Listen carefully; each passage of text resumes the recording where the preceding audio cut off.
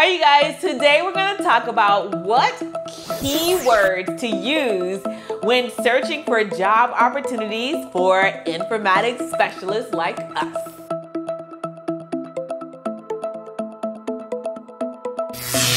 Hey you guys, this is Jen from Informatics Life where I give you real world informatics content as well as about healthcare technology and leadership. All of that, yes. Today I wanted to do a video about keywords to use whenever you're searching for a job opportunity. And I want to talk about the different titles and why they may be labeled that way and what to look for and what to go ahead and skip over if you see this, okay? The first one I want to talk about is, of course, simple, plain, and sweet informatics specialist. Okay?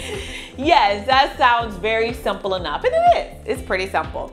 Always look in the description. And I say that because a lot of people do get excited for that wording informatics specialist, but then when they go to the job description, and if you're a health informatics specialist, you see all these medical licenses that they are requiring for that position.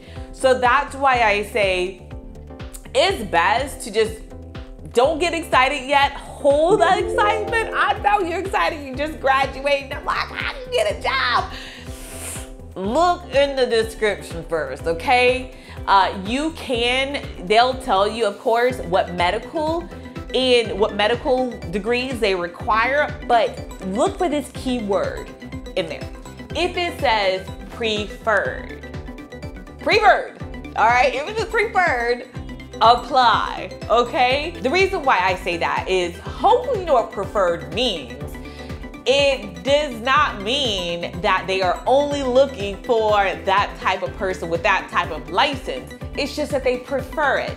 And I am a hiring manager, so I know that we do not always get the preferred that we're looking for.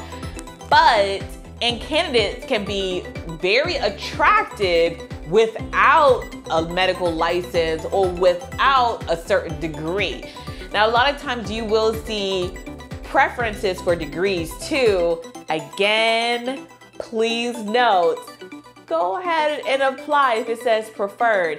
Because again, like I said, as a hiring manager, I am looking for a whole type of person in the interview. And if you come impressed, now for nursing informatics, I have to hire RN typically or RRT, but you know, if you don't have a master's degree, if you don't have a bachelor's degree, you know, some people will take an associate's degree because you are so impressive with everything else that you've built your resume with. I hope you watched that resume series I did.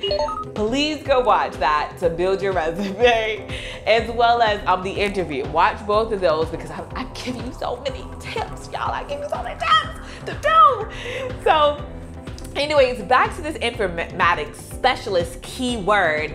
Uh, again, look look for the that you know whether it's degrees preferred or whether it's uh, licensure is preferred. Look, and if it has that word preferred, don't you be discouraged. All right, you go for it and make sure you're impressive as well as make sure you're not going there and you didn't even do anything to your resume to build it up. You're gonna, you know, expect what you what you invested in, okay? All right, so informatics specialist. You got that? Informatics specialist. The next one that people typically do not know about, that is clinical analyst. Say it with me, children. Clinical analyst. Right? You're probably like, what? clinical analyst. That is what we're actually called. so you will find areas that do call them informatics specialists but our position title, like at my organization, and I've seen it at other organizations, they actually call them clinical analysts. So you would need to type that into the keyword search when you're looking for a job. And you're probably like, why would that be considered an informatics specialist type of job? Well, number one, it may or may not. You need to look at the description to make sure it's what you're looking for. Uh, but clinical, we are clinical staff. We're we work with clinical. I should say, we work with clinical people, analysts, because we analyze uh, both operations and both IT-ish work. The best way I can put it. but I get kind of why they call us clinical analysts. I'm gonna go into different positions in a series, so I need you to look for where can I work as an informatics specialist. Look for that series, it's coming, okay? If you work for like a, a medical device company or something like that, they may not call that clinical analyst. But in the hospital setting, rehab facility, uh, skilled nursing facility, they may call it a clinical analyst. But just know that that is a keyword search that you can use to find a job, all right? Another one is, I'm gonna throw these two together because obviously this whole channel is dedicated to that, and that is nursing informatics specialist and health informatics specialist. You might find also another keyword, healthcare informatics specialist. So make sure you're typing those two or three renditions in the nursing informatics specialist, healthcare informatics specialist, and health informatics specialist in the search word. Now that I don't really have to go in depth with why that terminology is used because it's a specialty. Now, if you have an RN degree, remember you can apply for a healthcare or health informatics specialist job. The other way around, if you don't have an RN degree or RN licensure, you won't be able to apply for a nursing informatics specialist job opportunity unless you see something in the description. I mean, hey, always check the description. Could be something different there.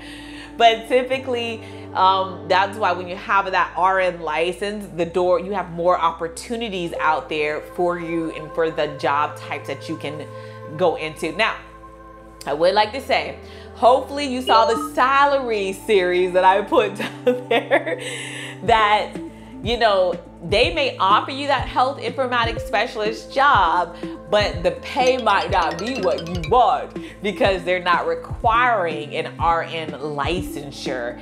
And that, you know, that means that it's gonna most likely be bumped down a notch for salaries. Check out more in the salary series, okay? I really go in depth with that. All right, so you got those three keyword searches. Look for those, all right? Another one that you may not be aware of, and I will just generalize this uh, because a big part of our job as informatics specialists is that a lot of times we are educators. We educate about technology. We educate about the EMR system, the documentation system. So you could potentially type in educator or informatics educator and see if a job will come up for that. I do know informatics educators and they are phenomenal and they really really solely focus on just the education piece they don't really do build and design and all that of the documentation system they really just focus on teaching the documentation system uh, educating of it any changes blah, blah, blah, all that. Okay? They do an amazing work. But so you can type in informatics educator and that's why I like to explain the difference between informatics educator versus an informatics just a specialist. They the informatics specialist could be more of a broader scope of things that you would do versus the informatics educator will have a whole hospital or a couple units where they're just specializing in that type of education informatics education. All right, so informatics educator, don't forget, keyword search. All right, and then just the broad spectrum of informaticists. I remember when I got into this position and back in 2013, and I was like, I'm an informaticist. And people were like, what? Huh? yes, I'm an informaticist. So it sounds like some kind of ant bug thing, you know? So you could potentially type that into keyword searches, informaticist.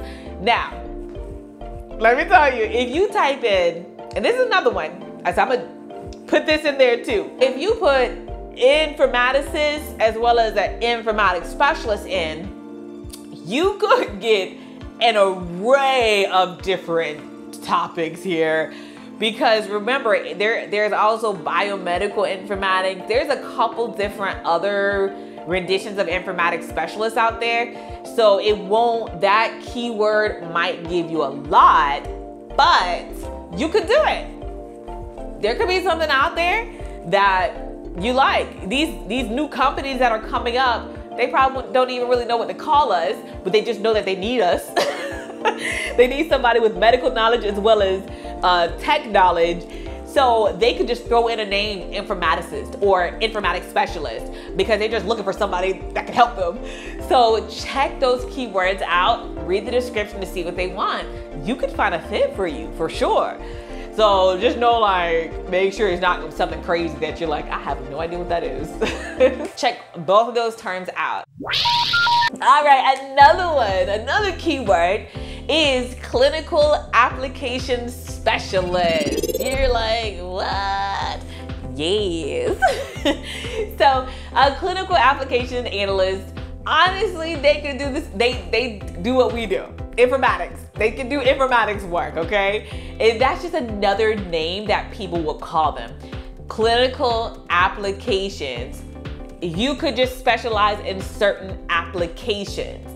Like if you know Cerner, if you know Epic, if you know uh, Bridge, if you know Sunrise, if you know like all these different specific applications, they just really just, I guess, to make it more narrow focus and what you're doing, you would just be over a certain type of applications that you would specialize in, train people in, educate on, you would uh, troubleshoot it, even do build and those type of things.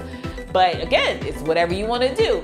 Just know clinical applications analyst is another keyword search you could use when looking for a job. And last but not least, let's talk about optimization specialist. Right? That just sounds like a noble job title. But you know what they do? They do the same thing we do. optimization is pretty much what it sounds like. So optimization specialist is another keyword you want to use when searching for a job.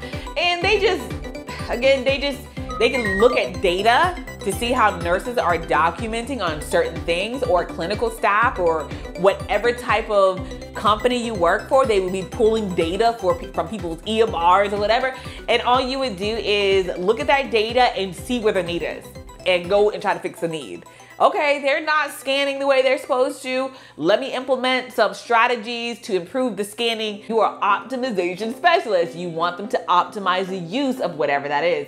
So that is another keyword search you can look for. And a lot of times, I don't want you guys to be scared. Like you're like, I have no idea what to do any of that stuff. Remember there's on-the-job training. You know, I have my master's degree in informatics. So nursing informatics, we were all over the place. We're learning totally different things.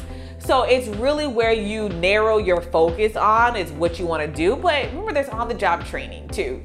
Go there, find out what you want to do. If, you, if you're here early, you are amazing if you got to my video super early because again you can find out what they do at your job and you can become what they want as well as see what kind of job you would like to see yourself in in the future and then narrow it down, shadow people, whatever you need to do to get ahead of life, okay?